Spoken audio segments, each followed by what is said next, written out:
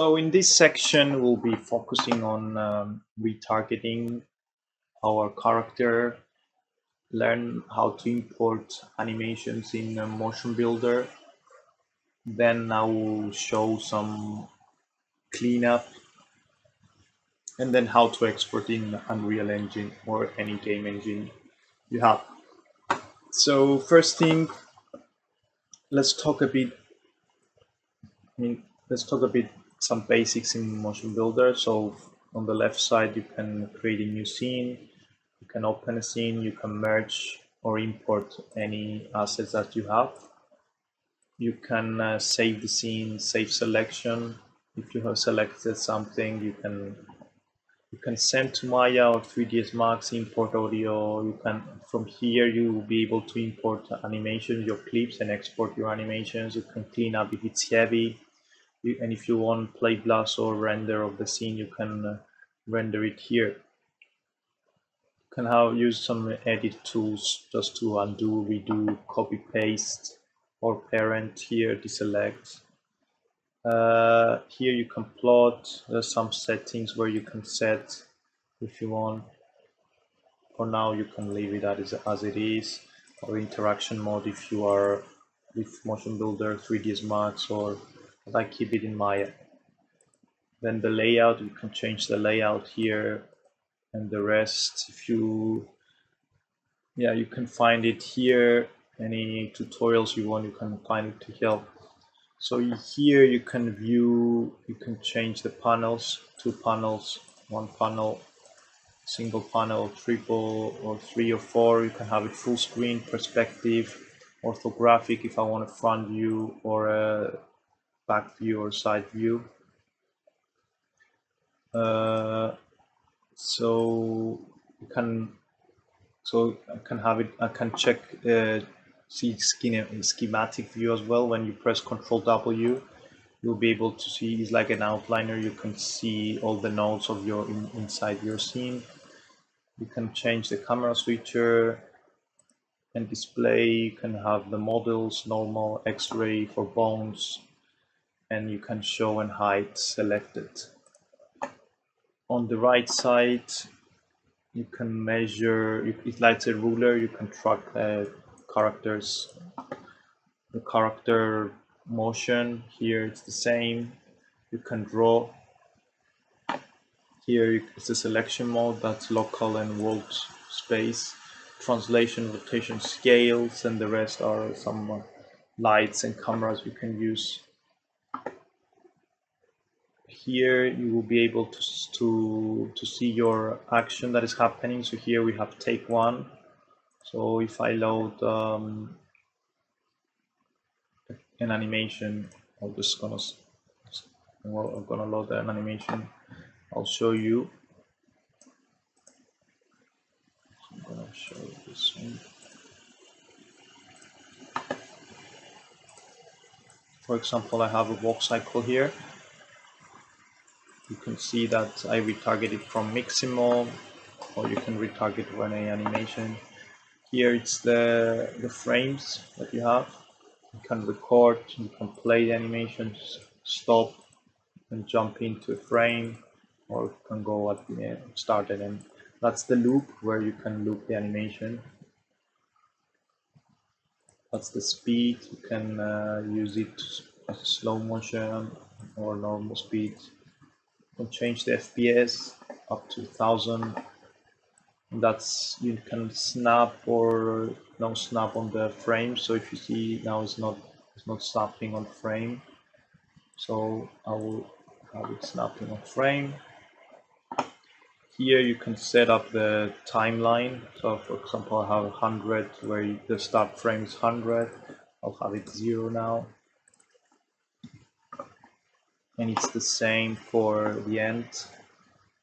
You can have it any frame you want but for now I'll keep it like this. And here you can adjust the range of the frames you want to work on and then if you double click you can bring it back. So it's important to, to know this to know what is this. So from here you can uh, control your rig. So if I press Control A, I can toggle and see the skeleton. So if I select the head, this controls every every controller on, on my character. So that's the hand, that's the elbow, that's the shoulder, the chest, the hips. So here you, you will be able to load and save animation. You can create a character. You can define, which I'm gonna show you in a bit, how to retarget. You can plot. Here we select the character we want. So now I I don't have any character selected, so I want my character to be selected, and that's it's gonna control rig where you're gonna be able to animate. You can have it in a none where it's just a skeleton, or you can have it as a stance where it's an a pose. So I want to have it on uh, control rig. So the definition show us where the skeleton, so that's which skeleton and the name of the skeleton so you can find out the bones and here you can find the controllers if you if you switch between on the on the top you can see the IK effectors. And you can see the bones as well.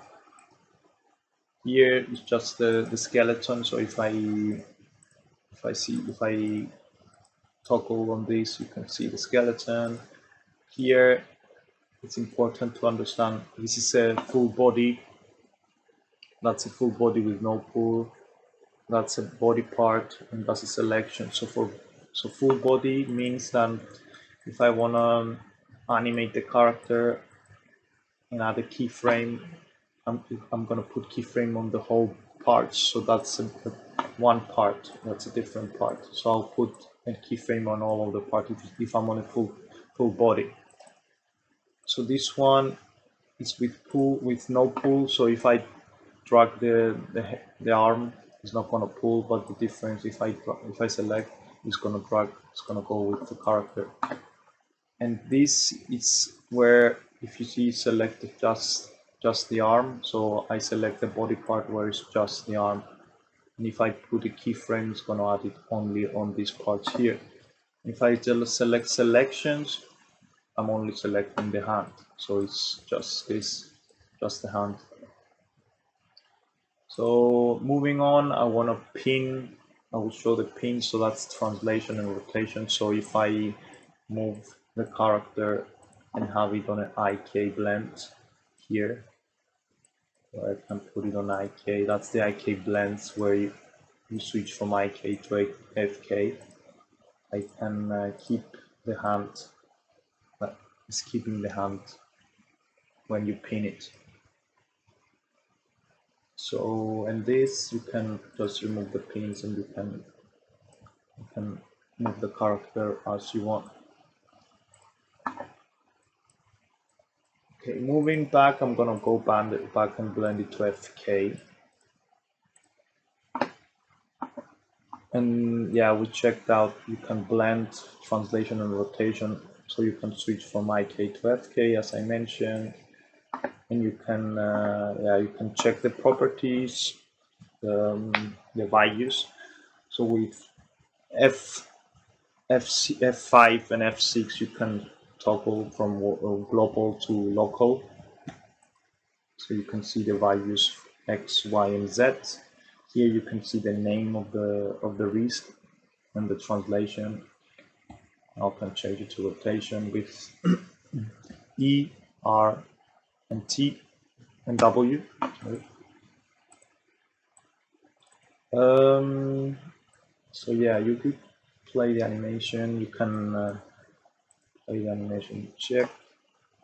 So moving on, I'm gonna see, I'm gonna explain the navigator here. moving on, I'm to explain the navigator. So here you can see the, the objects that you have in the scene. For example, I have the reference and the root here. You can search on the hierarchy. As I mentioned, if you check the schematic view, you can press Control W and check as well the nodes that you have. So that's the bones, for example. I can check the bones of the character. If I press Control E, it's going to go back to my scene. I can check if I have any audio, cameras, characters, control rigs, which we created here, constraints if we need if we want to use constraints, namespaces, materials, poses. We're gonna use these for when we create poses. You can see the takes that you have here. So we have two takes, textures, video, and videos. so moving here, you can check the animation. So that's the F curve that is called. It's the same as in, in Graph Editor in Maya where you can, can find, you can see the values, you can clean up, you can polish the animation, you can set up automatic, spline, uh, linear uh, curves here. The story mode, I will explain it basic now. It's just you can blend animation, so you can for example, you can insert a current animation track and you can select the track and you're going to be able to create a take and then if you have another FBX, you can import it and you can blend blend it back again. It's very useful if you want to blend animation in Motion Builder. Here we have our layers so you can create any layer you want. You can remove layer you can toggle. For example if I if I want to change this character's uh, direction I'll move on to global and then I'm gonna rotate him without and I'm gonna move him, him this way. So we make sure you have auto key on. And also you can press S now if you toggle you can see I rotated the character and, I'm on the full body so all the parts. So sorry just need to yeah it's just maybe it's the hips that I be I rotated so you have to make sure that you rotated everything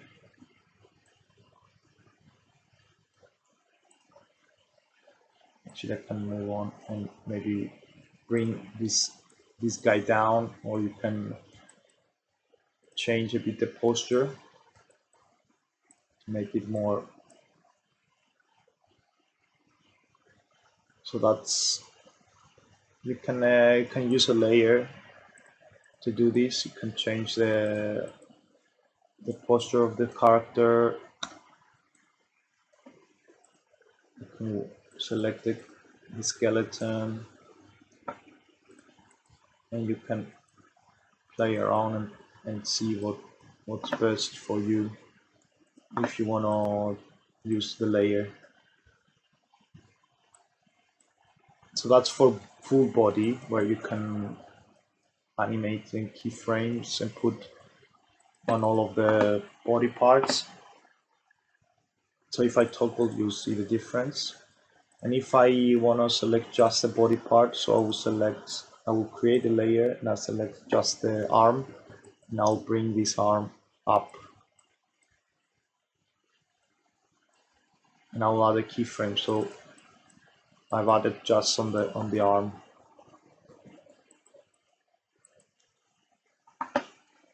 Okay so we showed the layers auto key on so let's say I'm happy and I'm gonna bring I'm gonna bring this arm as well here.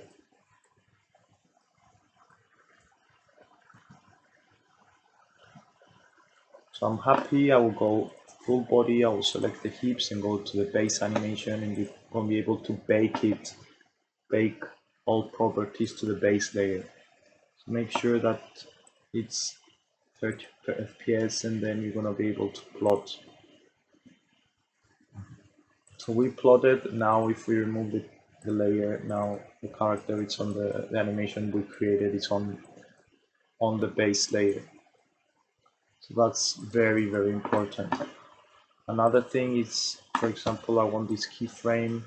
I will bring this down and then I want to come back to the same position. I will I can use the zero so it's gonna go back. So went down and then up to zero you can use it to go down again then bring it up by zero. It so it's very useful to if you want to bring bring the animation back to base animation. Uh, so flat it's for example if I flat button here for example the character is, is here and I can control C and control V. So I want to copy the animation on this range. You need to flat make the curves flat on the on the graph editor. So that's what I what I mean by flat. So I'm flattening the and then it's going back to zero. Um, moving on here you can um,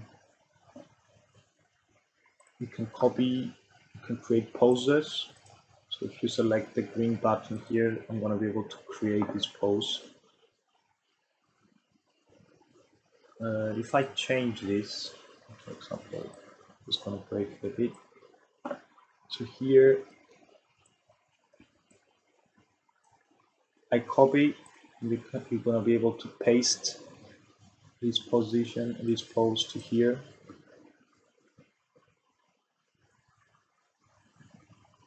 So this helps a lot when you copy paste poses. So you paste it with this, or you can update the pose. You can mirror it. So if I mirror, I can will be able to mirror. It's going to be from the other side, but I don't need it. I'll paste it. Um, properties here. It's where you see the values of the rotation, translation, scales, blends, filters. You can use the filters to smooth. You can smooth, so you use the smooth just to smooth the area. Assets, you can use it to, to use constraints. Usually I use parent constraint or you can use a range or rotation here you can set up groups and you can set up sets for your for your animations to export. So that's an overview and a basic. I will i will show in the next uh, next session next tutorial how to import the character how to retarget and then we'll go for a basic a basic cleanup